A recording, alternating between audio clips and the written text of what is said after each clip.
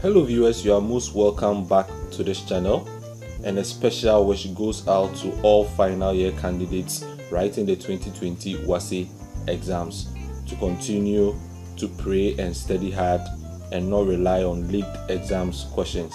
And I know by the grace of the Almighty God, with hard work and dedication, you will sail through your exams successfully. So in today's video, I'm going to delve deeper into some of the major reasons why an applicant will perform so well in his or her WASSCE with let's say aggregate 6 or 7 or even 8 A's or 7 A's but will still not get admissions to any of the major universities in Ghana like the University of Ghana or the Kwame Nkrumah University of Science and Technology. And the reason why I decided to use these two universities is because they both receive the highest number of applicants in the country and also globally in general. So these reasons are normally caused by several factors such as putting all your eggs in one basket, entrance exams and interviews, rise in the number of university applications, the challenge with full fee paying, withheld results from WAEC, blockage of results for owing of school fees, faking of your WASSCE results, resentment for University of Ghana Accra City Campus and Kwame Nkrumah University of Science and Technologies Obuasi Campus, and a stroke of bad luck. So I'm going to take time to explain these reasons into details because it can happen to any of us and what are some of the measures we can take to prevent these problems in the future.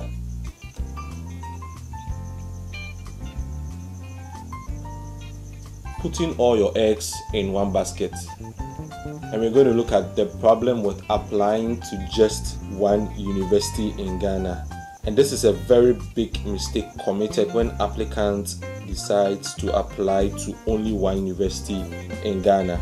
So what happens if you were not successful or did not gain admission? This means you will have to stay home for another year and this happens all the time. You see someone with very good grades but has been sitting at home for over a year or two. There are also situations where applicants who had 8 A's or 7 A's but had to sit at home for one whole year because he was not selected for the medical school and the School of Pharmacy at the University of Ghana. There are other situations where applicants who were not selected for Doctor of Optometry and Medical School at the KNUST had to also sit at home for one whole year. And this is because all these programs like medicine, pharmacy, doctor of optometry, dentistry are very tough to gain admissions into. So your 8 A's or 7 A's only qualifies you to the exams and interview level Thus, if you are unable to perform well at that stage, you will be eliminated from the admissions process. This means that you are not going to gain admission for that particular program and you might as well sit home for another year trying. One should also take note that the University of Health and Allied Sciences, the University of Cape Coast, University of Development Studies also offer health related programs and you should consider as an option rather than not having a backup plan at all.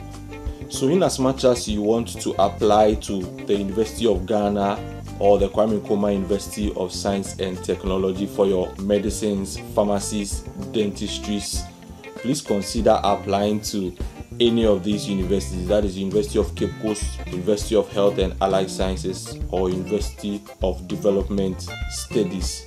Because in the long run when you all graduate you all be seen as a health professional or medical doctors or pharmacists. And no patient will ask you the university you attended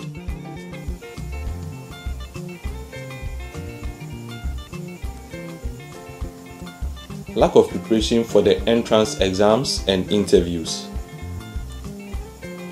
So, due to the highly competitive nature and limited spaces for some of the programs, your good WASSCE results is not enough to guarantee you an admission for some programs. So when you are invited for the entrance exams and interview, you should also remind yourself that the applicants you are writing the exams or attending the interview with also performed very well in their WASSCE. And this is where you must give it your all because the medical school, the pharmacy school, the dentistry school, the nursing school can only select a limited number of students. So, for instance, the University of Ghana received an application of 600 medicine applicants and 200 met the requirements or the cutoff point of aggregate 7 but can only admit 100 students into the medical school. Further screenings such as entrance exams and interviews will be conducted to eliminate further applicants. So this is where 200 applicants all performed very well in the WASSCE. They all had their aggregate 7. But the problem is that University of Ghana can only select 100 students or 120 students, meaning 80 students will be eliminated in the admissions process. So, what are some of the measures they take? They use these entrance exams and interviews to eliminate applicants during the screening and selection process. Thus, applicants who get to this stage must give in their all when writing the exams and attending the interview. So during this stage, you have to make sure you're giving your maximum effort so you can also be part of the successfully selected applicants. The challenge with full fee paying. And this option is given to applicants who missed the cutoff point slightly. So there are two types of students in the university. We have the regular students and the fee paying students. The regular students pay lower fees as compared to their fee paying colleagues who pay a high amount of fees in the university. For instance, if a regular student is paying, let's say, 1,500 Ghana cedis a year, that of the fee paying student might be paying around 4,000 a year, all because they missed out on the cutoff point slightly. So, an example is with business students who applied for Bachelor of Science administration at the University of Ghana with an aggregate of 10. But the cutoff point for regular last year was aggregate 8. So the applicant has no choice than to pick the fee paying option for the Legon campus or select a different program where he or she can meet the regular cutoff point. The university can also offer applicants fee paying as the only option, especially with some of the health science programs at University of Ghana, KNUST, University of Cape Coast. So an example is the Kwame Nkrumah's University of Science and Technology's Bachelor of Science in Dentistry. So what this means is that if you have the passion of pursuing dentistry at KNUST, even if you get 8 A's in your WASSCE, you will still be a fee paying student. And if by chance that was the only university you apply to and can't afford to be a fee paying student, then the implications is that you have to sit at home for another year and apply to another university where you can be a regular dental student. We should also take note that full fee paying also has its cutoff points in some of the universities. So it does not mean if you have a very weak aggregate, let's say aggregate 24 or 25, you will be considered for fee paying. Full fee paying status can also be offered to you based on your performance after the entrance exams and interview for the health science related programs. And this is because although you may have successfully passed your exams and interviews, you may be offered admission as a fee paying student because others might have performed better than you did at the entrance exams and interview stage. Write in the number of university applications for particular programs. And a typical example is the Bachelor of Arts program at the University of Ghana, which admits over 10,000 applicants every year. But the problem is when an applicant meets the cutoff point for Bachelor of Arts from a general arts background, which was aggregate 15 or 16 as of last academic year. And let's assume that the applicant had an aggregate of, let's say, aggregate 12 and decided to select subjects in the Bachelor of Arts bouquet like political science, geography, French, public administration, sociology, Chinese, marketing, psychology, Chinese, economics, geography, philosophy, and classics. So, with an aggregate of 12, the applicant is going to have very high hopes of getting one of these subject bouquets that he or she selected. But when the admission letter came, you realize you were given a totally different bouquet subjects altogether than what you initially selected. For example, in your admission letter, you were given a program like Study of Religions, Philosophy and Classics, and Key Swahili. But the problem is that even if you met the cutoff point for Bachelor of Arts for general art background, which was aggregate 15 or 16, and you had aggregate 12, and you were expecting the university to have given you one of these Bachelor of Arts bouquet subjects you selected. Others might have performed better than you. Some will have had aggregate 6, 7, 8, 9, 10, or even 11. And the university will definitely select them ahead of your aggregate 12. So if the class size is full, then you are not likely to get the particular bouquets which you initially selected online. That is the reason why the university was able to give you the study of religions, philosophy and classics, and Kiswahili because of the class size. So even if you might have met their requirements, other applicants met that requirement more than you did. That is the main reason why you were not given your preferred subject combination.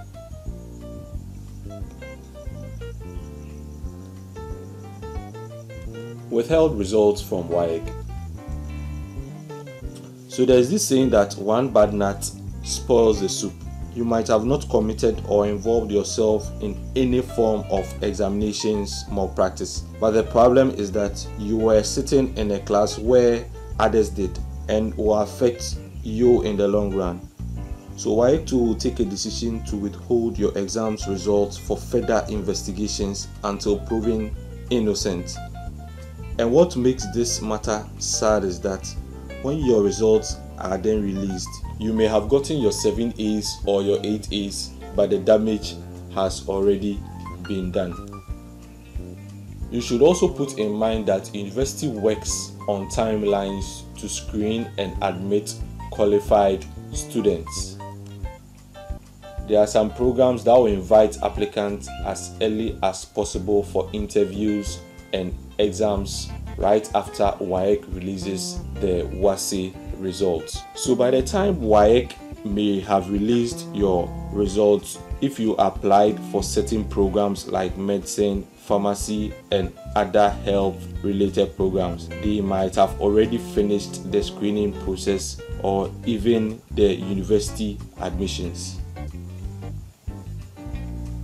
Such programs are mostly from the health sciences such as medicine, pharmacy, nursing, and some others like law. And you should also take note that not all the programs requires this type of screening. The program that requires this type of screening are the very competitive programs, mostly from the health sciences and other humanities related programs like law. Blockage of results for owing of school fees and this goes to all the private senior high schools in Ghana and this is an instruction that is given to WAEC from the Ghana Education Service reported by the head of schools not to upload the results of students who owe school fees. Candidates whose results are genuinely not online old school fees and can only see their results after paying their school fees. This can cause a back and forth frustration to the applicant even after settling of his or her school fees. And the problem is that even after paying your school fees, your WASSCE results will not appear immediately online because it also involves a lot of paperwork. Now, your headmaster or your headmistress will now have to write a letter to Ghana Education Service before Ghana Education Service can also forward to WAEC. So it takes a back and forth process which can frustrate the applicant. So by the time you might have finished solving the problem, admissions to universities may be over.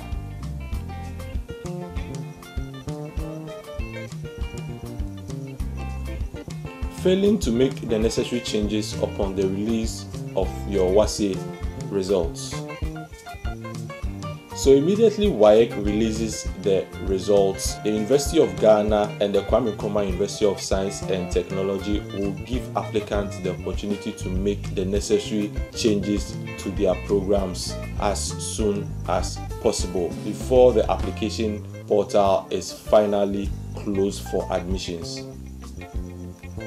So, for instance, the cutoff point for Bachelor of Law was aggregate 6 and you had an aggregate of 8, you should make sure to make the necessary changes that will qualify you for admission. So if you know you do not meet the cutoff point for Bachelor of Law, select another program as your first choice that you meet the requirements as well as the cutoff point. Finally, cross check with your index number, year, month of examinations before you resubmit. So you cross check with your index number, the year, whether 2020 or 2019, and the month of examination, whether you wrote it in May, June, or Nov/Dec, before you finally resubmit your applications to the university.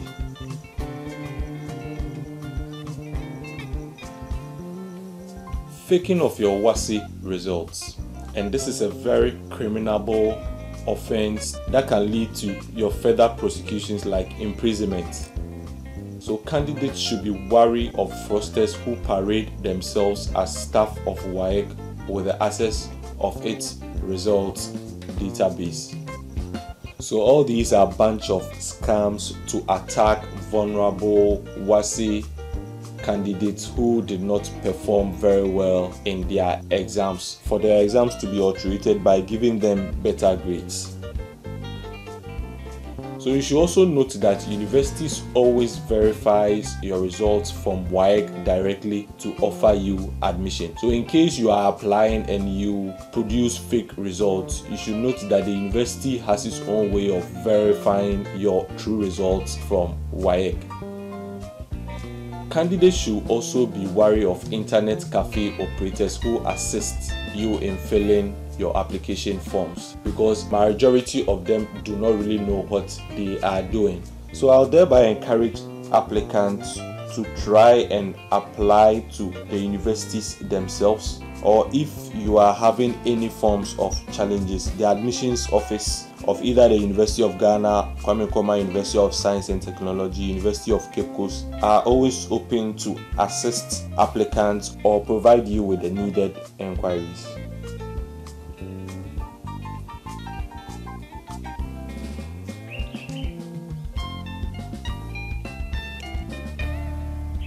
The resentment for University of Ghana Accra City Campus and the Kwame Nkrumah University of Science and Technologies Obuasi Campus. So the University of Ghana and the Kwame Nkrumah University of Science and Technology have the Accra City Campus and the Obuasi Campus respectively that runs regular programs for students. And all activities that goes on there is the same as what goes on at the main campus. But the problem is that due to the lack of space on the main campus, the university sometimes offer admissions to applicants at the Accra City campus or Obuasi campus, even though these applicants might have performed very well in their WASSCE exams. So when students receive these admissions offers, they sometimes reject the offer because they want to be on the main campus for one or two reasons. The reason why I will encourage applicants to accept this admission offer is because every activity is the same as compared to the main campus. The lecturers are the same, they all write the same exams, they attain the same first degree. So, whatever degree you attain on the main campus, that is the same degree you are going to attain at the city campus or at the Obuasi campus. It's the same four year degree program. Their graduation system is also the same. They all graduate at the same period of time, as well as their grading system. Also, classes in these campuses are relatively smaller in size as compared to the main campus. Lecturers take their time to teach as there is a stronger relationship between students and their lecturers. Course mates tend to bond properly as compared to their mates on the main campus due to their smaller sizes. And also, due to the COVID 19 outbreak, all university students are off campus studying and writing exams online. So, right now, you don't even know the difference between an Accra City campus or an Obuasi campus student from the main campus. Now, all students are at home writing their exams online as well as studying so, what is the point here? And aside as with all this, when you graduate from the University of Ghana or the Kwame Nkrumah University of Science and Technology or any other major university here in Ghana, they are not going to write Accra City campus on your degree certificate or Obuasi campus on your degree certificate. They are going to indicate you attained a bachelor's degree or a bachelor of science degree at the Kwame Nkrumah University of Science and Technology or the University of Ghana. A stroke of bad luck can also affect your admissions to the university even if you pass your WASSCE exams very well. For instance, on the day of exams and interview, you might have not been feeling well due to sickness or might have gotten to the exams hall very late, could not find the venue for exams or interviews on time, and in the end might affect your overall performance for final selections with regards to admissions. You might have also did not have the ample time to prepare for the interview and the exams. You might have also not received the message inviting you for the exams or interview due to bad network, missing or change in your cell phone number. You were also not checking from the university's website as often as you should for shortlisted applicants, inviting you for the entrance exams as well as the interview. So, the little advice I can offer university applicants is to be proactive Keep yourselves updated with relevant information. And lastly, pray for God's guidance and protection in this COVID 19 pandemic era. So I'd like to thank you for watching and please watch out for my next video which is going to provide you with tips on how to prepare and pass a medical school interview or any health science related program that invites you for interview or entrance examination. And I also like to urge you to subscribe to this channel for any further inquiries or future videos. Like this video, comment, ask questions, share to friends and relatives who are also applying this year. And you can also click on the notification bell. Thank you so much for watching and I'll see you in the next video.